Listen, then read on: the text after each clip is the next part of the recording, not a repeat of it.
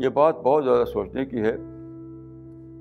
देखिए हम आप जन्नत के मुसाफिर हैं लेकिन जन्नत के का सफ़र उसी तरह तय होगा जो अल्लाह ने मुकर किया है। किसी और तरीके से तय नहीं हो सकता।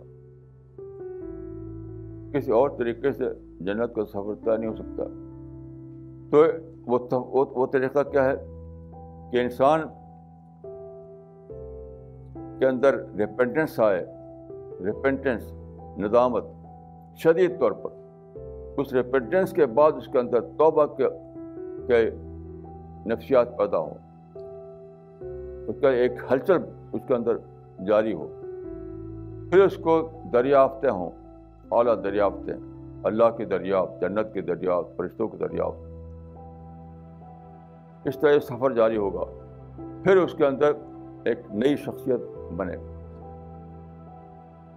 यानी वो शख्सियत जो अल्लाह के रास्ते पर चलने वाली, जो सरात मस्तम को अख्तार करने वाली, जिसका कौल अमल वो हो जो अल्लाह के पसंद के मुताबिक हो, ये सब एक प्रोसेस के थ्रू होता है।